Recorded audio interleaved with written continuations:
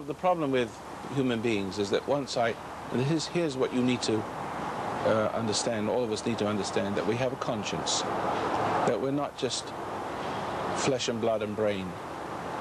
We're not just animal all the way through, as the socialists would have us believe. You know, live and be merry, for tomorrow you die and never enjoy yourself. So what's the point?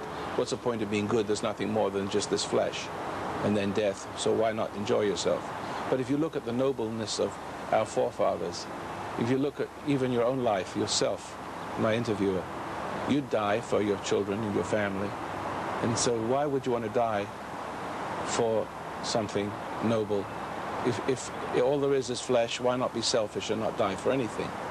Because there is, you must die for what you believe is right. You must live for what you believe is right, and then, if necessary, die for it, because there's something more to life than just eating, drinking, and defecating. Right? So we must realize that. And life without that meaning, that purpose, whatever that purpose is, uh, is meaningless and empty and horrible. And that's the reason why people try to kill the pain of their dying by living it up. But that only leads to their dying.